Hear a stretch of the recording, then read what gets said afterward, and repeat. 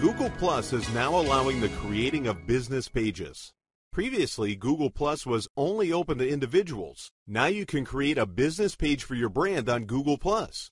Since Google basically owns search and all their other properties like YouTube, Blogger.com, and Google Places get priority in search, it would not be a bad idea to have a Google Plus business page in addition to your personal profile.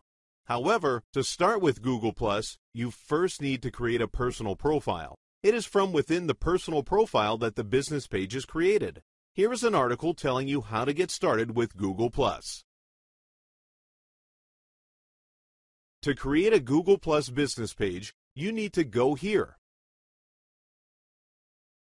If you are not logged into your Google account, you will be prompted to do so. The first thing you need to do is pick a category. You have a choice of five main categories. 1. Local business or place.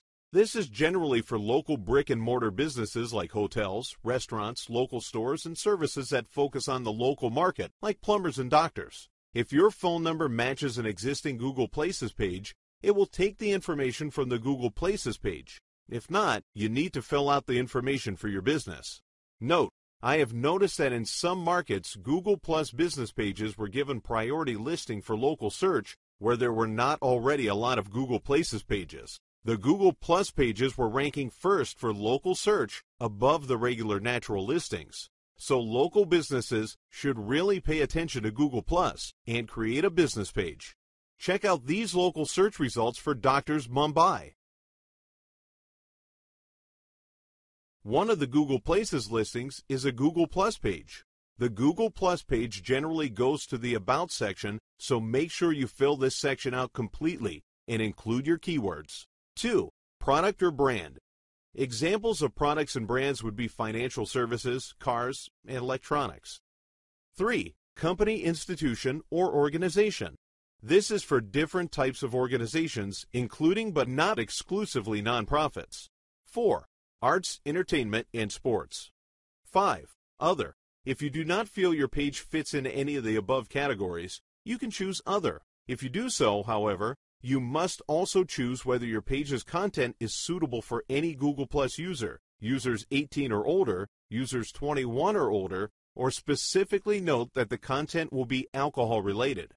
I have seen edgy adult related sites on Google Plus, so it seems Google Plus is allowing some adultish content because they are asking you to identify such content when you register your page rather than outright banning it. This is all I could find in Google Plus terms of service. Further, we may not allow verification of local Google Plus pages for certain products and services such as escort services or other regulated goods. The door looks cautiously open on this subject. Customize your page's public profile. Now you need to customize your page's public profile. This is important. Make sure you fill everything out completely. Use your keywords without stuffing. Tell everything about your business, including relevant links.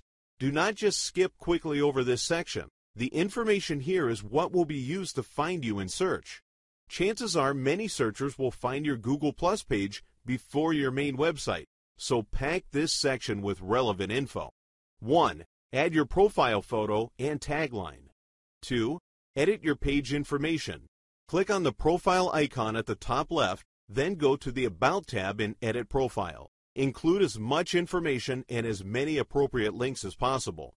3. Add your photo strip. The photo strip are the five photos that will be displayed beneath your page's name and tagline. While editing your profile, click on the photo area where it says Add Photos Here and upload a photo in each of the five photo spots. Your business page is now ready. You can start adding posts and content to this page just like you did with your personal Google Plus profile. Once you have filled your page with some quality content, you can use the spread the word option in your right sidebar to announce your page to your personal profile connections. The big difference between a Facebook fan page and a Google Plus business page is that you can follow your page's fans back and add them to your circles.